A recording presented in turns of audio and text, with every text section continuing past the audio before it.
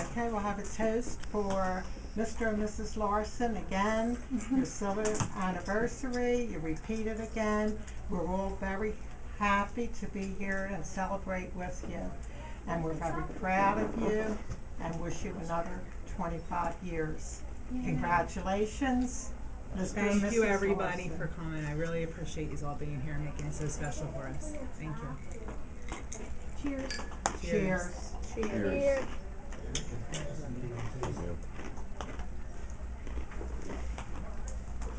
Mm. I wrote a little something. Okay. Oh,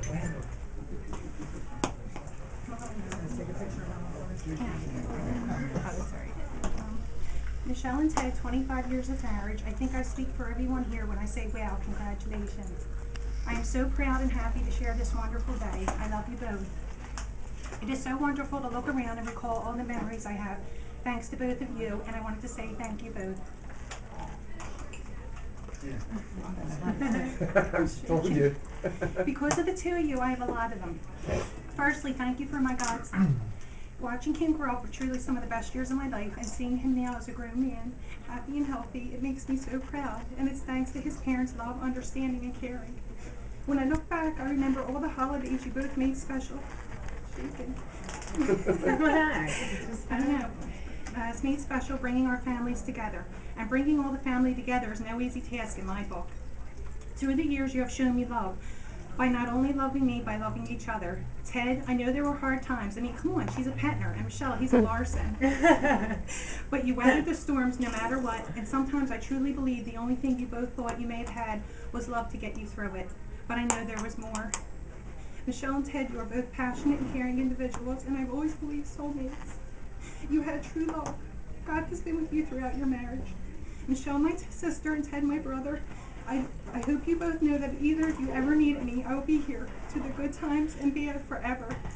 Again, thank you for the memories. Thank you for loving each other and for sometimes being the glue that keeps this family together. I love you so very much, appreciate and respect you both. Congratulations. Now I'd like to remember all those who you love so much who are no longer with us. Pumpkin, Pumpkin, Tiny, Mr. Larson, Lenny, Joe, Grandma Petner, and Uncle John. These are just a few of my favorites. I know, really know in my heart they are here with us today at this table, so proud. Can you feel it? They're gone but never forgotten. I think I speak on behalf of all of us here when I say we love you and thanks for the memories. And in the words of Jerry Garcia, keep on trucking. God bless. Now I would like to take you down memory lane. We met at Eleanor's New Year's Eve party way back when, and Michelle at the time was a teenager, but wise beyond her years, because she wanted no parts of Ted Sr. Ha ha. Ted, you walked in with your wrong Robert Plant hair and James Dean's personality.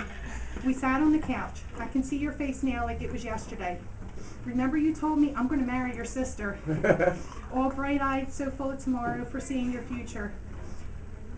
I, I of course laughed and said, get out of here, she can't stand you. exactly what she said too. Well, you never gave up. Michelle decided to date you, finally, and we giggled. We were kids. We were all living at home at the time. You then dated. Mich- Michelle, remember you were kissing Senior? And mom came along on the corner.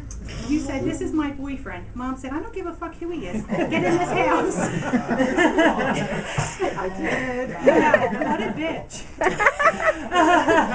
well, as we grew up, we all realized bitch meant a wonderful, loving, and yes, crazy mother.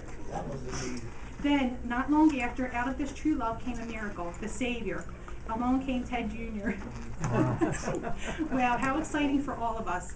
I believe he changed everyone's lives. He brought total joy to our whole family. You were married at Dugan's and moved into Jackson Street apartment. What good times. You didn't have a lot of money, but it never showed. Nobody cared or even realized it for that matter because there was love. True love in that house. Oh, and thanks for adopting me during those years. Again, true memories of a lifetime. You then moved to Plum Street with mom, then to Castor Avenue. In that time, you have weathered the losses of loved ones, jobs, enjoyed camping, holidays, eating at every restaurant in Philadelphia, surgeries, arguments, good times and bad times, and here we are today. Thank you, Jesus, celebrating. After twenty-five years, wow, twenty-five years, you are still Sorry. Um, if you are still together and still in love. True first date, will she date me, love? Well, I'm happy to say I'm really not surprised. Finally, in my own words, I'd like to say, keep on loving each other, never take each other for granted, and I look forward to the next twenty-five years. Thank you for being such a huge part of my, my and my family's life. I love you both very much, and again, on behalf of all of us here, thanks for the memories, and we love you so much. Love, it really is all you need. Dreaming dreams come true. Keep on trucking. And finally, you may be right, I may be crazy, but it just may be a lunatic you're looking for. Happy anniversary. Thank you so much.